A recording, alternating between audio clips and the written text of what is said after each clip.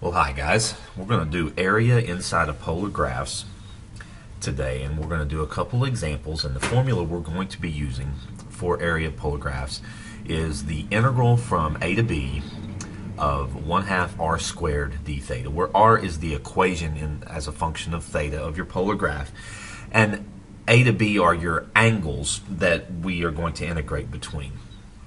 So let's do an example of a fairly easy example.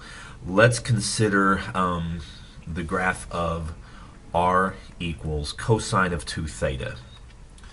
Now, from pre-cal, you should know that this is a four-petaled rose, and let's find the area inside one of those petals. So let's go take a look at a picture on a calculator, and then let's talk about how we're going to do this. Most importantly, the angles we're going to go between. So let's go take a look at this thing. Here's our four-petaled rose, and I've got it graphed here, and we want the area inside one full petal. And what we really want to know is what angles do I go between that will generate this one full petal.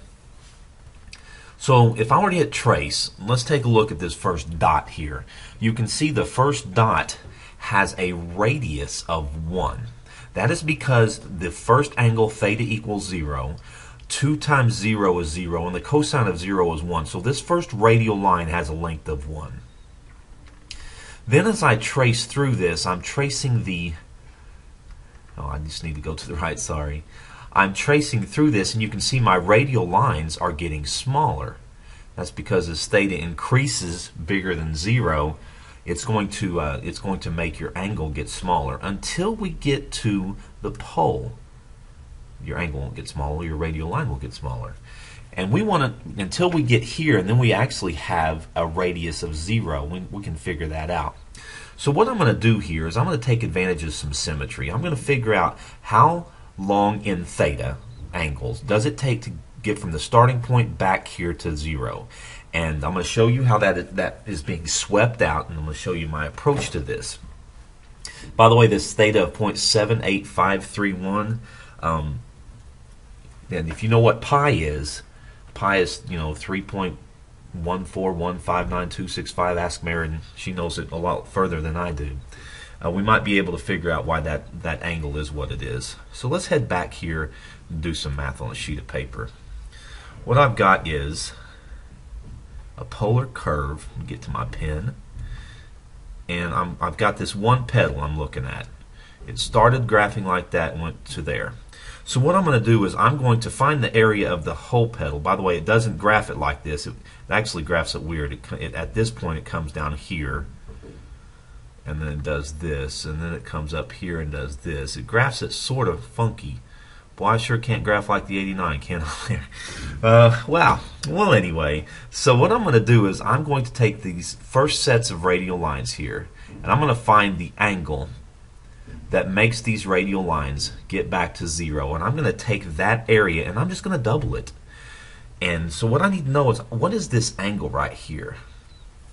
So I need to find out when does cosine of 2 theta get back to zero? When does it get to the pole? When does it have a radius of zero? You're going to be happy that I actually made some computer generated pictures later because that's really a sad looking flower. If I were to give that to a woman, unless I was in kindergarten or she was my mom, that would be a, a sad day for me romantically. All right, so what I'm going to do is I need to figure out, well, the cosine of what is 0? Well, the first angle that cosine has a value of 0 is pi over 2. So I'm going to let 2 theta be equal to pi over 2. So this first angle is going to be pi over 4, which is, you know, if you call pi 3, uh, just to estimate, 3 fourths is about 0.75, and that's about the decimal that we were at before. So this should make sense. So what I'm going to do is I'm going to take and integrate between 0 and pi over 4 of 1 half r squared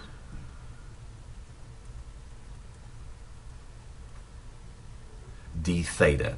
But that's just going to be this upper half of this petal. So I'm just going to double that. And that will be the area inside one loop. And of course, the 1 half can come out in front of the integral, and I can just do the integral from 0 to pi over 4 of cosine of 2 theta squared d theta. So what I'm going to do um, on my calculator is I'm just going to go to the home screen and I'm going to use x's instead of thetas and I'll ask my calculator to give me that value.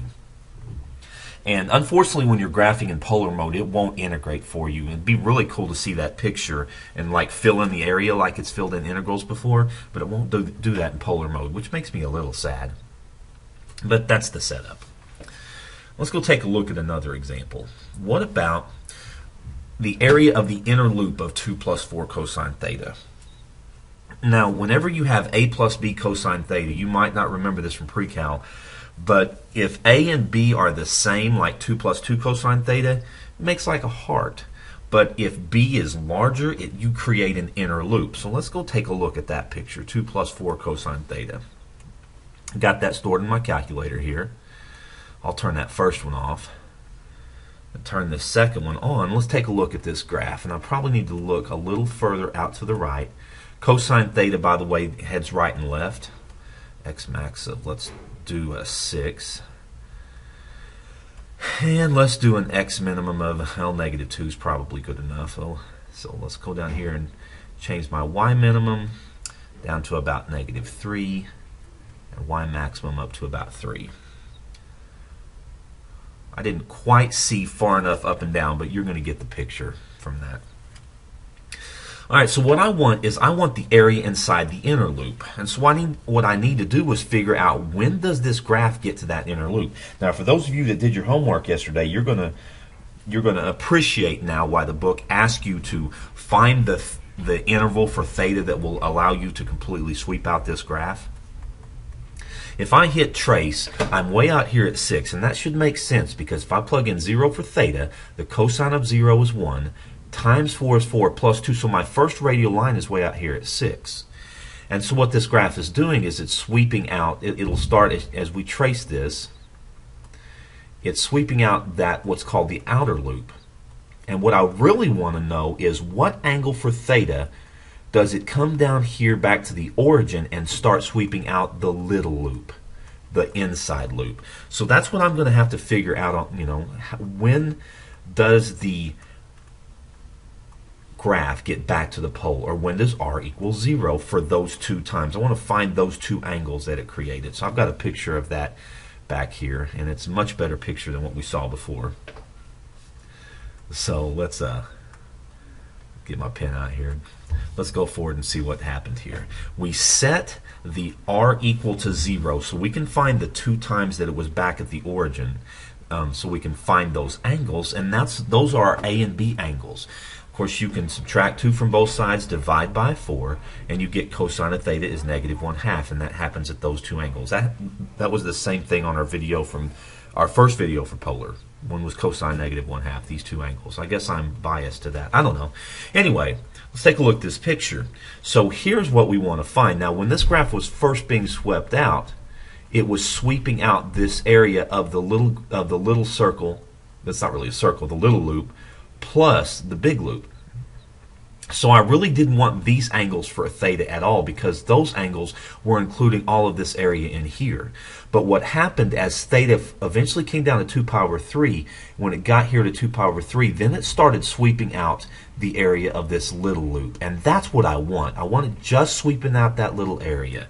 And that happens from 2 pi over 3 to, to 4 pi over 3 and and that's how we found that with uh, setting that equal to zero. So from 2 pi over 3 all the way around to 4 pi over 3, that's when it sweeps out just that little inner loop. So that gives us our a to b. So the setup of our area is going to be the integral from 2 pi over 3 to 4 pi over 3 of 1 half r squared d theta. And you can again, from the home screen, you just want to put that in um, use x's and do the integral of 1 half of 2 plus 4 cosine x squared from 2 pi over 3 to 4 pi over 3, and that's how you would actually get the answer. Sometimes these are just setups, though, on the AP exam. You don't actually have to type them in. Now, what if, this is the hardest part, what if we get two polar curves and one of them is carving, you know, a, a piece out from the other one?